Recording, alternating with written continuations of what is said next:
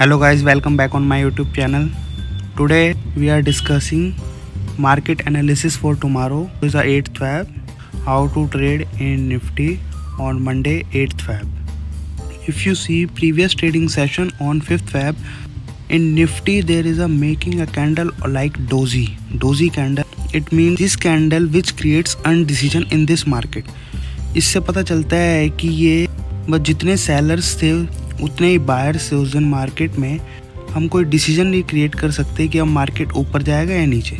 So you have to wait for one more candle whether Nifty will go up और down if I see overall trade in trend in Nifty there is a continuous bullish trend if I see five minute candle chart for intraday trading if you see previous closing session Nifty makes high पंद्रह हज़ार सात। Fifteen thousand का high बनाया था Nifty ने previous trading session में and low बनाया था प्रीवियस ट्रेडिंग सेशन में चौदह हज़ार आठ सौ छियासठ। ऊपर की साइड निफ्टी काफ़ी खिंचाव है, ऊपर की साइड मोमेंटम कम है निफ्टी में। अगर किसी को तेज़ी की पोजीशन मानी है तो निफ्टी के उसे वेट करना पड़ेगा पंद्रह हज़ार चौदह हज़ार नौ सौ अस्सी के लेवल का कि निफ्टी उसके ऊपर निकले या पंद्रह हज़ार का ब्रेकआउट दे। तब निफ्टी कम से कम पंद्रह हज़ार दो सौ के लेवल पे अटक सकता है। पंद्रह हज़ार दो सौ तक जाएगा पहले फिर वहाँ पे अटक सकता है। फिर उसके बाद फर्दर आगे का लेवल बताएँगे हम। और सपोज़ अगर निफ्टी चौदह हज़ार आठ सौ सत्तर चौदह हज़ार आठ सौ पचास के नीचे जाता है बेरिश कैंडल बनती है बेरिश मोरबोजू या उसके नीचे अगर बन जाता है तो निफ्टी कम से कम चौदह हज़ार सात सौ पचास का लेवल अगेन टच कर सकता है।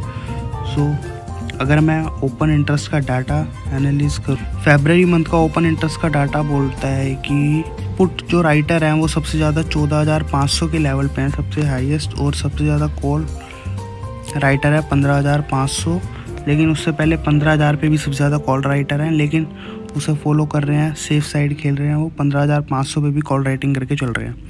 लेकिन अभी मैं वीकली एक्सपायरी में ग्यारह फैब ओपन इंटरेस्ट का डाटा देखूँ तो वहाँ पर जो है पंद्रह हज़ार के लेवल पे कॉल राइटर हैं और चौदह हज़ार पाँच सौ पे पुट राइटर हैं।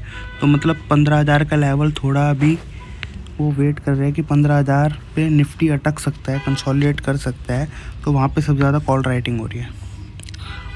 लेकिन वैसे ओवरऑल देखा जाए, जो पुट कॉल रेशो है, वो बता रहा है कि 1.41 पे कि अभी भी पुट राइटिंग सबसे ज़्यादा है as compare to call writing और अगर प्रीवियस ट्रेडिंग सेशन में जो चेक करूँ मैं ओपन इंटरेस्ट सबसे ज़्यादा चेंज हुआ था। ओपन इंटरेस्ट बड़ा है पंद्रह हज़ार एक सौ, पंद्रह हज़ार दो सौ के लेवल पे और पंद्रह हज़ार पाँच सौ। और पुट राइटिंग मतलब पुट राइटिंग बड़ी है चौदह हज़ार नौ सौ। तो मार्केट ये मान के चल रहा है कि चौदह हज़ार नौ सौ का सपोर्ट लेगा। इस वीक निफ्टी चौदह हज़ार नौ सौ का सपोर्ट ले सकता है।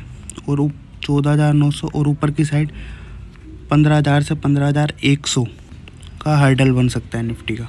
एक इंट्राडे के लिए एक शेयर भी डिस्कस कर लेता हूँ। किसी को, काफ़ी लोगों को इंट्राडे करना पसंद होता है इंट्राडे में ट्रेडिंग करना। तो एक शेयर लाया हूँ मैं एस्कोट्स का शेयर अगर आप एस्कोट्स का शेयर देखें ओवरऑल इसका पीरियड से कॉन्टीन्यूस अपर ट्रेंड में है कॉन्टीन्यूस बुलिश ट्रेंड है। लेकिन आप देखो तो अगर सत्रह नवंबर के बाद जब निफ्टी बारह हज़ार के लेवल पे था एस्कोट्स ऑलरेडी अपना हाई बना चुका था, चौदह हज़ार अड़तीस रुपये का। लेकिन उसके बाद स्कोर्ट्स ने कंसोलिडेट करना स्टार्ट कर दिया अगेन और ग्यारह हज़ार, और ग्यारह सौ अस्सी तक नीचे आया, और अगेन अपने हाई लेवल पे गया चौदह हज़ार चालीस पे।